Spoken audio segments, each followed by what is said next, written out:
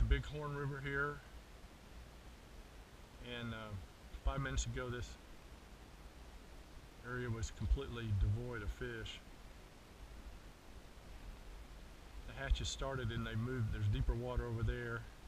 My theory is they just slide down the river to where it's very shallow. This is six inches of water.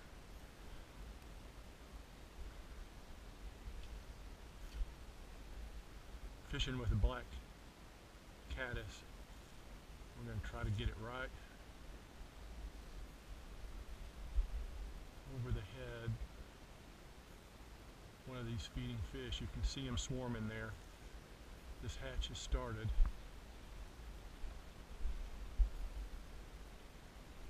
There's one right there. Right there. Oh, it's a pretty good one too.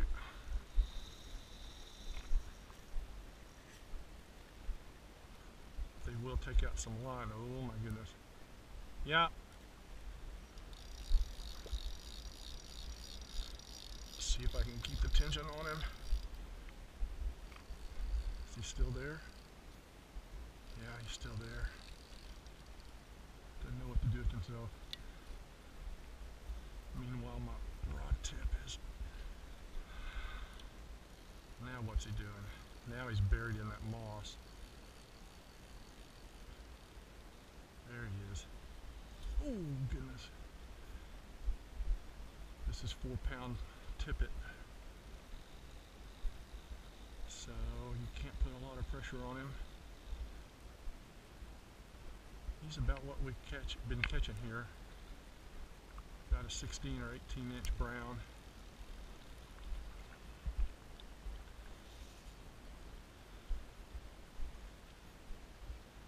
I'm easing him away from that pool.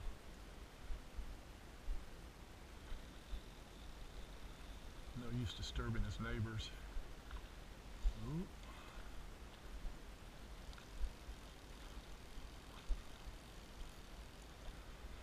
Alright, come on in here, little fella.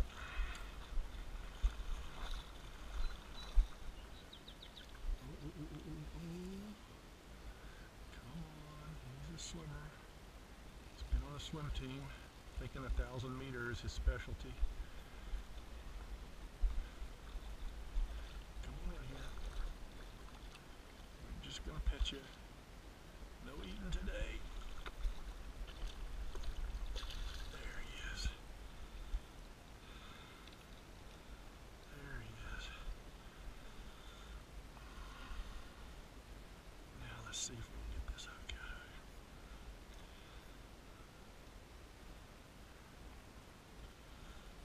Whoa, whoa, whoa, whoa, whoa, Don't do that. Don't do that.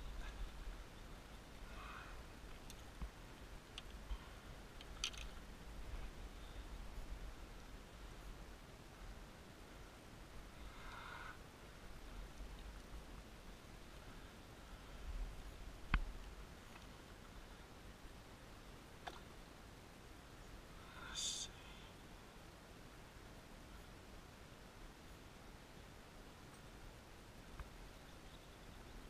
Oops. Sorry, little fella. Okay. Here we go.